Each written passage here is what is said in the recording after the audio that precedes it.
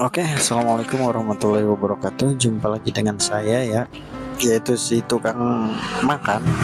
Bagaimana kabar sobat semuanya? Baik-baik saja ya. Jadi di video kali ini saya akan sharing lagi yaitu tentang cara mengatasi antivirus yang tidak bisa dibuka. Bagaimana mas cara antivirusnya errornya kayak gimana? Nah contoh errornya itu kayak gini teman-teman. Jadi ada keterangan order ya, ya kayak gini nih order provider kayak gitu. Nah kalau misalkan punya teman-teman antivirusnya kayak gini eh, mudah banget cara mengatasinya ya. Karena ini teman-teman biasanya pernah install aplikasi antivirus pihak ketiga dan itu tidak disarankan kayak gitu. Nah oke langsung saja kita atasi bagaimana caranya teman-teman buka CMD ya.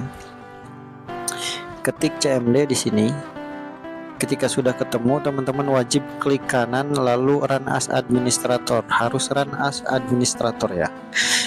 Nah ketika sudah terbuka silakan teman-teman isikan ketikan yang sesuai sesuai yang ada di video ini. Nanti akan saya taruh di deskripsi teman-teman ya.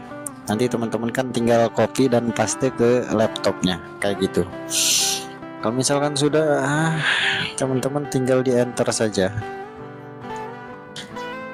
Adapun cara yang kedua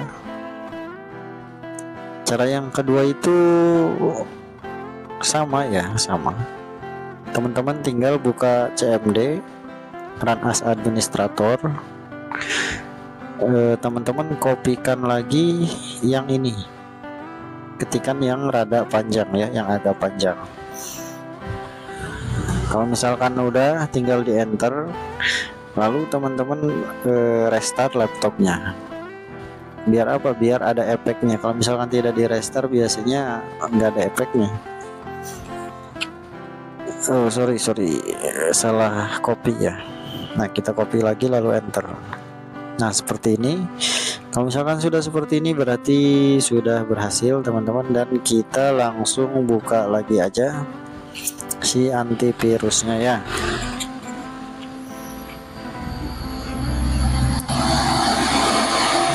Nah seperti ini ya.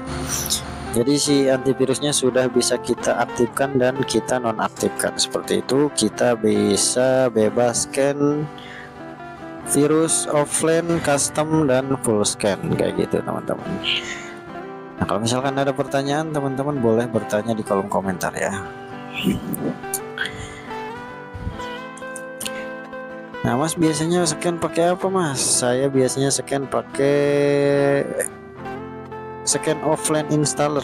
Eh, offline in offline scan ya.